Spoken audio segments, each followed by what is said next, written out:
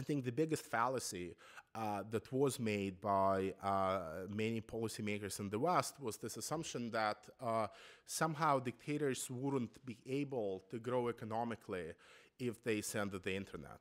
There was this uh, very there is this very deep-rooted assumption in you know in Western uh, media, but also in, in sort of public discourse that you either center the internet and then your economy suffers, or you let the internet in and then political liberalization occurs. That's what's known as the dictator's dilemma.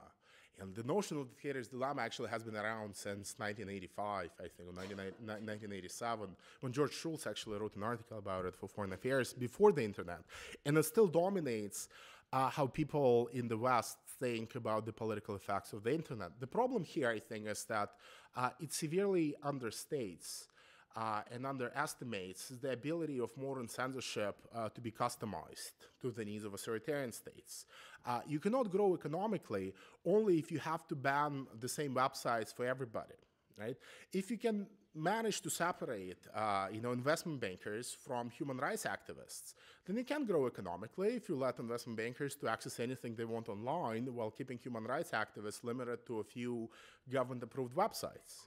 Um, and uh, the way in which to do that is, of course, to rely on the kind of social media and the kind of social information that uh, is aplenty on the internet.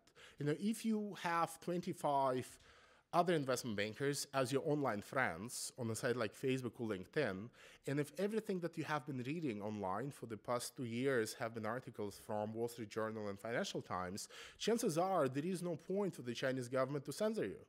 Right? If, on the other hand, if you have 25 human rights activists as your friends on Facebook, and if all you have been reading for the last, you know, two years were critical reports, uh, you know, accusing China of human rights violations, chances are you shouldn't be online to begin with, from the perspective of the government, right? So uh, the battle uh, and the future battle over this will actually uh, you know, all consist of governments basically trying to customize their censorship and tap into the vast resources of data that users disclose voluntarily.